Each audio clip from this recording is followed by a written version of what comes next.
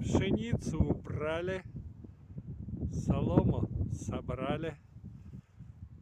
6 сентября, Ленинградская область, Бабье лето.